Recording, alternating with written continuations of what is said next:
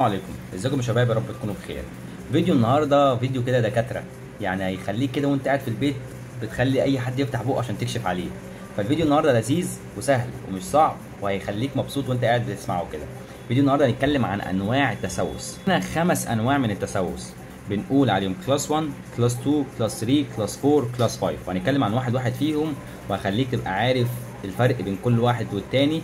وال class 1 ده هو يعتبر مكانه فين؟ مكانه يعتبر على سطح السنة. يعني بتلاقي التسوس ظاهر على سطح السنة من فوق كده. وهنا التسوس ده بيكون نتيجة إن أنت بتاكل حلويات بتاكل ايس كريم ما بتغسلش اسنانك بعديها بتسيبه فبيعمل تسوس في المناطق دي. لأن المناطق دي بتعتبر عاملة كده. فبتجمع الأكل فصعب المنطقة دي تغسلها. فبتجمع فيها البكتيريا وبتعمل تسوس. يبقى عبارة عن خط أسود والخط الأسود ده ممكن يبقى تصبغ وممكن يبقى تسوس. لو تصبغ يبقى محتاج تنظيف لكن لو تسوس يبقى محتاج حشو. قلنا ده بيحصل ليه؟ بيحصل لو بتاكل حاجات طرية زي البسكوت الشوكولاتات والكلام ده كله. أول ما بتاكله بيبدأ موجود هنا لكن لو ما غسلتش سنانك وأكلته قبل النوم يبقى أنت كده زي الفل. أحلى مسا عليك وأحلى تسوس حصل لك دلوقتي. كده إحنا في المرحلة السهلة. ال class 1 ده يعتبر أسهل حاجة ممكن تكتشفها. يعني أنت بتفتح على طول البق تلاقي خط أسود على السنة كده فبتعرف إن ده تسوس. خلاص ده سهل كده. ده كل اللي محتاج إن أنت تروح لدكتور يعمل لك حشو على طول. والنوع ده نوع برده سهل مش عشان أنت تعرفه لا سهل ان هو صعب إن هو يوصل للعصب بسهولة إن هو قدامه طبقات كتيرة بيبقى العاج بعد كده يخش على العصب فعلى طول عشان تلحق نفسك وبتكلفة سعر قليل ومجهود قليل وما تتعبش نفسك أو ما تتعبش نفسك كتير فعلى طول أول ما يحصل لك أول ما تشوف خط أسود لازم على طول على طول أوتوماتيك تروح لدكتور الأسنان. دكتور الأسنان على طول هيشيلها لك بسهولة وبسلاسة ومن غير أصلا ما يتعب ولا أنت تتعب ولا هو يفرهد نفسه ولا أنت تفرهد نفسك وبسعر فلوس قليلة وبحشوة بسيطة وتبقى أنت حليت المشكلة كده من البداية. بعد كده على class 2 class 2 ده يعتبر المرحلة الثانية بس المرحلة الثانية دي هي من أخطر أنواع التسوس اللي بيحصل. يعتبر بيجي في جنب السنة يعني بيجي لو سطح السنة كده هو بيجي من الجنب هنا أو من الجنب هنا ما بين الضروس وبعضيها. وبهنا هو ده يعتبر أخطر حاجة ليه؟ لأن إحنا صعب نكتشفه وما بنشوفوش. تاني حاجة إن هو يعتبر قريب جدا من العصب فيعتبر لو أكل طبقة المينا ودخل على العاج سريعا هيخش على طول فين؟ في العصب ويبدأ يعمل ألم حاد. فلازم لو ما لحقتوش سريعا هيبدأ على طول يخش لك في الوجع الجامد وتكلفة أعلى. برضه خطر لأن هو مش بيأثر على سنة واحدة. لا ده ممكن لو هو موجود وعمل تسوس هنا يأثر على السنة اللي جنبها بسرعة جدا. فيبقى أنت كده لو ما لحقتش سنة تبدأ تلاقي الخطر مع سنتين وبسرعة جدا.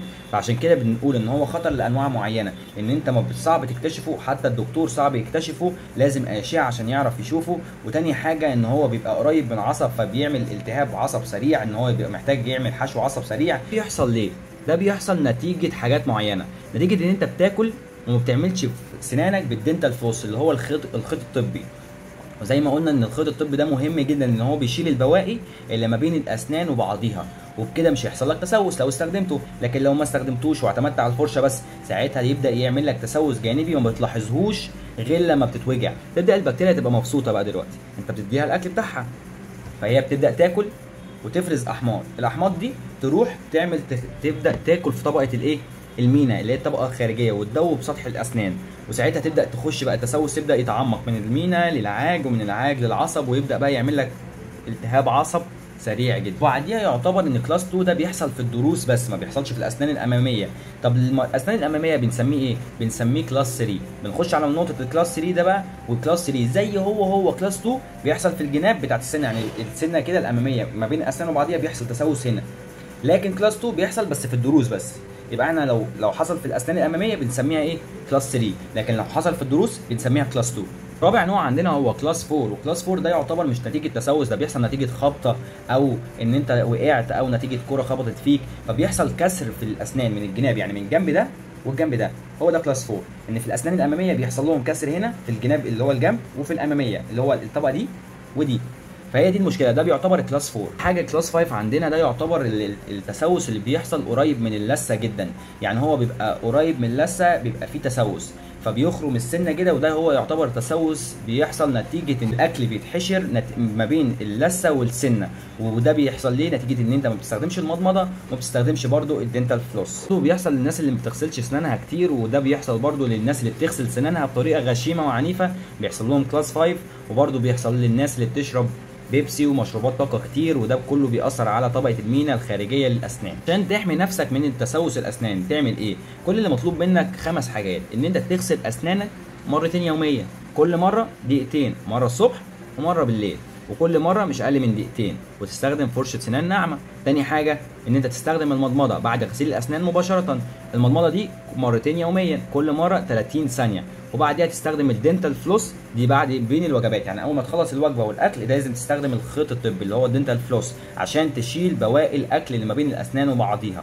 حاجة لو أنت بتحب الشوكولاتات قوي وما بتعرفش تبطلها حاول تجمعهم كلهم وتاكلهم مرة واحدة وتستنى ساعة وتغسل سنانك وما تاكلش تاني شوكولاتات. لو انت نفسك قوي في شوكولاتات لكن يستحسن عشان صحه جسمك وصحة أسنانك تحاول تقلل من السكريات جامد. حاجة حاول تقلل شرب صودا وكتر من شرب المية. هتلاقي نفسك بصحة أحسن صحتك بقت سريعة كده وأسنانك بقت بصحة أحسن وبشرتك وجسمك وكل حاجة بقت بتستحسن لأن أنت بدلت الضار بالصحي. خلصنا الفيديو وأتمنى تكونوا استفدتوا وربنا يبعد عننا وعنكم المرض وما تنسوش تتفرجوا على الفيديوهات اللي فاتت وتستنوا الفيديوهات الجاية وأتمنى تكون عرفت عن نفسك شوية. والسلام عليكم.